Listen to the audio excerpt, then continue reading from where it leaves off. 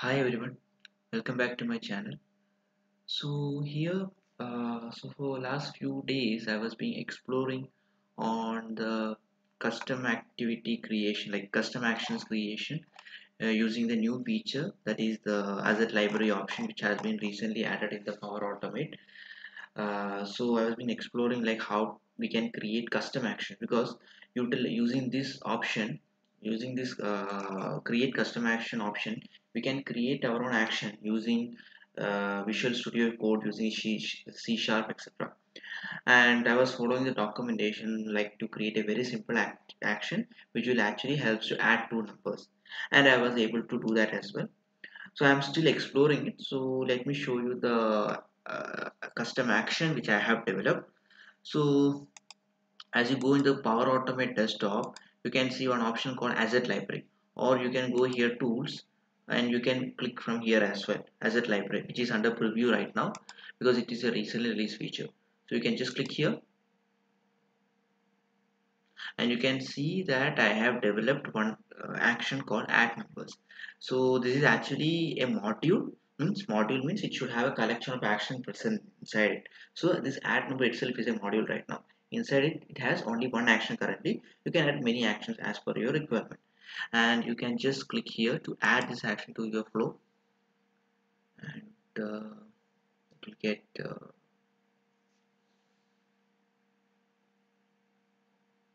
yeah it is got added. You can see added in the flow. Let me close this one. And if I go down you can see under custom action preview if I mean a text you can see here right? Under that you can see add number. This is actually add number is a module. And now if you just uh, expand it you can see action one. This is the action which I was talking like it will add two numbers okay?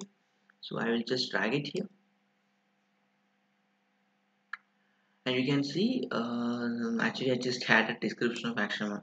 So actually this application of this uh, action one custom action is to add two numbers. Like we'll provide two numbers as input and it will provide the sum of two numbers as output in the result variable let me put two numbers 14 and let's say 25 okay 25 now what happens is let me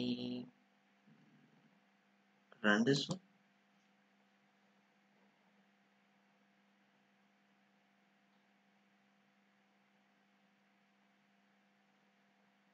You see the result is actually shown in the result variable that is 39 and if you let's say if you put some other text value let's say if I put in a text value let's say P, uh, let's see what happens.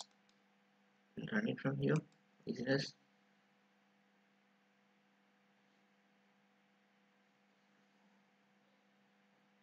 yeah you can see it will throw an error because the number 2 should be integer value. It should not be a string value because it only accepts integer value okay?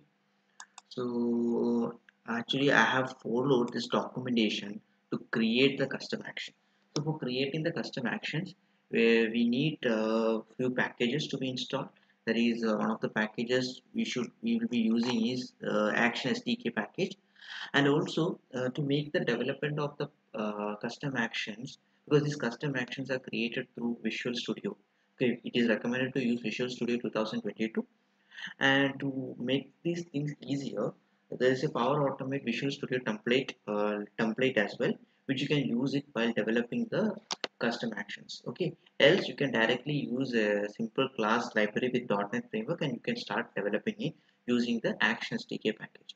Once you create the package what you have to do is you have like once you complete your uh, programming part you have to build that particular solution and you'll it will generate a DLL file so the next step after generating the DLL file should be to have the uh, to have to sign the DLL file with a uh, cert trusted certificate so that this uh, we can uh, so that uh, we can uh, like declare the authenticity of this particular custom action like it is coming from a trusted source. For generating as well as importing the certificate the documentation is already provided here. You can have a look. And also once you assign that particular DLL file with the certificate combine all these things this DLL file into a cab file and then sign this cab file again. You can see a simple step here itself. Whatever I have told this steps is being simplified here. And uh, once you did everything right um, um, these are different examples of the uh, custom select uh, custom actions which you can develop. I'm still exploring it like i've just generated a very simple act, uh, custom action like just to add two numbers to see how actually this works. Now i will try to explore it a little bit as well okay? So once you did this uh, once you create a custom action you can see they are also giving how to create and import a self-signed certificate to sign your DLL as well as your CAB file. So now once you have to everything uh, what you have to do is you have to upload the custom action.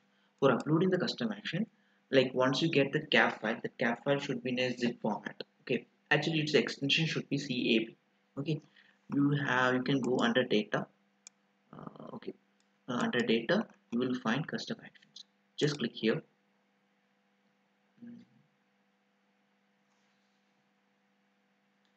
Take some time. Yeah.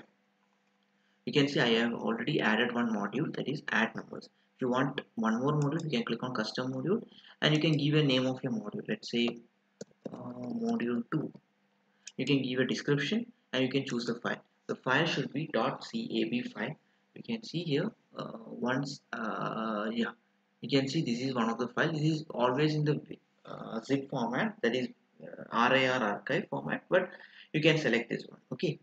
Because uh, once a CAB file is generated you have to sign it.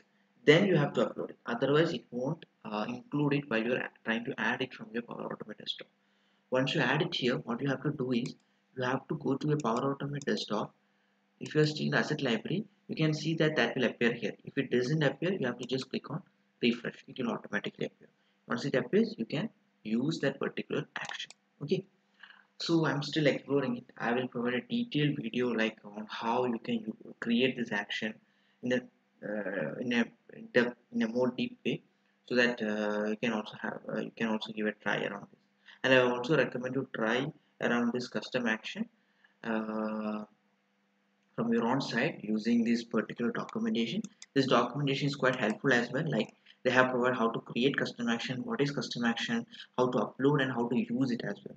So you can just follow this in sequence to get a complete idea how you can create and use this custom action and how you can share with others as well. So that's all for this for this uh, for this video. I hope you got an idea and i hope you will explore this as well and i will also come with a new video. Thank you